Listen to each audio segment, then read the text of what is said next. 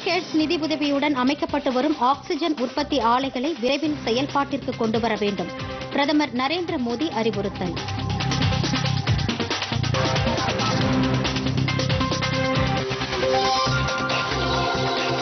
மாற்று எரிபொருள் தேவையை நடைமுறைக்கு கொண்டுவர சர்வதேச நாடுகளின் ஒத்துழைப்பு அவசியம். நிதியமைச்சர் நிர்மலா சீதாராமன்.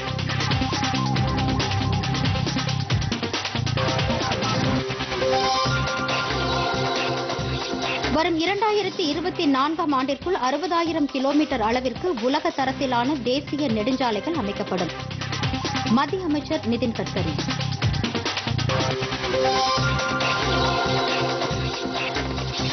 தெற்காசியாவில் தொழில் முதலீடுகளுக்கு உகந்த மாநிலமாக தமிழகத்தை மாற்ற வேண்டும்.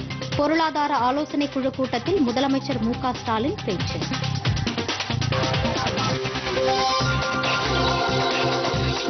ஐநா உதவியுடன் சிரியாவில் அமைதி ஏற்பட தேவையான உதவிகள் அளிக்கப்படும். இந்தியா உறுதி.